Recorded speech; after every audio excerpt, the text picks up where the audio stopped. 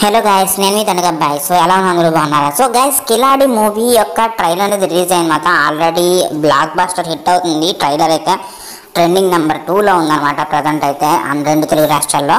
So అయితే చాలా మంది నన్ను అడుగుతున్నారు కదా అదేంటిది? ట్రైలర్ రెస్పాండ్ అవ్వు ట్రైలర్ రెస్పాండ్ అవ్వు? అని అంటున్నాను అనుకున్నా ఏం కాదు ఎవరు అడగలేదు. అని అడుగుతారు అని చెప్పుకోవాలంటే అదే మ్యాజిక్ అదే అడగకపోయినా అడిగారు అని చెప్పుకోవాలి. అదే మ్యాజిక్ అనమాట ఓకే ఇంక మనం పాయింట్లోకి వెళ్ళిపోదాం. Okay guys so first scene వచ్చేటప్పటికైతే ఇక్కడ మీరు చూస్తున్నారు కదా మీకు క్లారిటీ కోసం నేను జుమ్మింగ్ చేసి పెట్టాను అనమాట యాక్చువల్లీ ఇక్కడ రవితేజ ఫైట్ సీన్లో అయితే ఎవరిని కొట్టడు గైస్ ఒకరి ట్రే అక్క ఒకరి మీద దాన్ని ఇంకొకరి మీద పెడతాడు అంతే.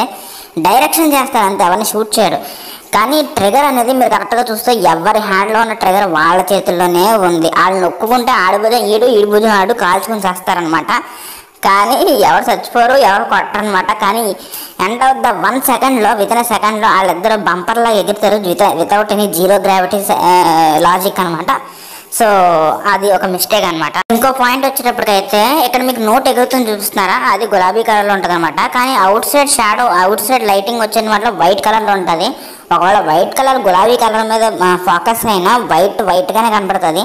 బట్ ఇక్కడ రూమ్ అంతా కూడా ఏమవుతుందంటే రెడ్ కలర్ను అండ్ uh, డార్క్ రెడ్ లేదా uh, లైట్ రెడ్ లాగా కనిపిస్తూ ఉంటుంది అనమాట సో ఒకవేళ అంత లైట్ ఎఫెక్ట్ వచ్చినా సరే మేబీ ఐదర్ uh, కనీసం కలర్ సెన్స్ అనేది కరెక్ట్గా లేదనమాట అండ్ సెకండ్ థింగ్ నోటు కూడా ఇది ఇండియన్ నోట్ కాదు.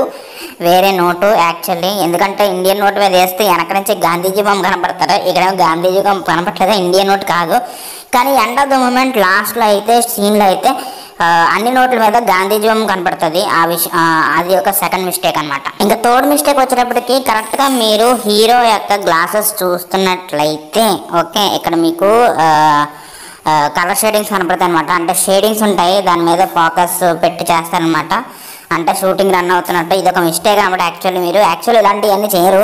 అలా ఇదంటది లైట్ ఎఫెక్ట్ కనిపిస్తున్నట్టు కళ్ళజోళ్ళు మ్యాక్సిమం కనిపించేస్తుంది లైట్ ఎఫెక్ట్ ఇస్తున్నట్టుగా సో ఇదైతే థర్డ్ మిస్టేక్ అనమాట ఇక్కడ ఇంకొక మిస్టేక్ వచ్చేటప్పటికి ఇక్కడ బైక్ మీద రన్ అవుతుంది కదా ఎవరో చేస్ చేస్తున్నట్టుగా ఉంటుంది అనమాట యాక్చువల్లీ ఈ సీన్ అయితే. కాకపోతే నేను ఎందుకు నేను ఎందుకు- ఎందుకు చేస్ చేస్తున్నా చెప్పా. యాక్చువల్లీ మీరు ఇండియాలో కనుక కానీ అమెరికా కంట్రీస్ అదర్ కంట్రీస్లో కానీ బైక్ మీద సైడ్ మిర్రర్ లేకపోతే ఫైన్ వేస్తారనమాట సో అందుకని నాకు తెలిసినంత రవితేజ మీద ఫైన్ వేయడానికి వెనకాల పోలీసులు చేసి చేస్తున్నట్టున్నారు. సో అదనమాట సో ఇది అవుట్ ఆఫ్ కంట్రీలో కూడా ఇలా ఉందన్నమాట. సో ఈ లాజిక్ మిస్ అయ్యింది.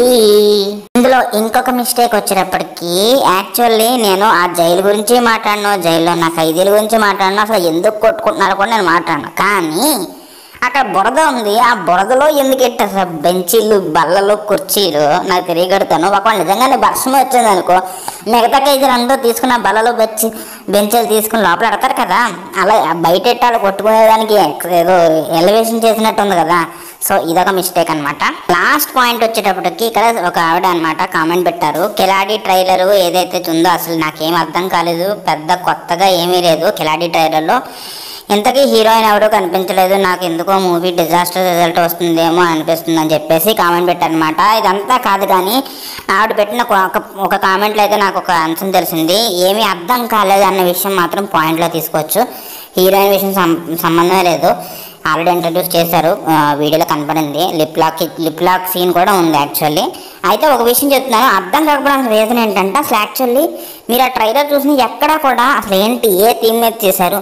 అసలు ఏ అంశం మీద చేస్తున్నారు? అసలు కనీసం ఏ పాయింట్ ఆఫ్ వ్యూలో కూడా ఒక కొలిక్కి రాదనమాట. సో నాకు తెలిసి ట్రైలర్ అతను వీడికే కాదు నాకు కూడా అసలు అర్థం అవ్వలేదు. సో అదనమాట.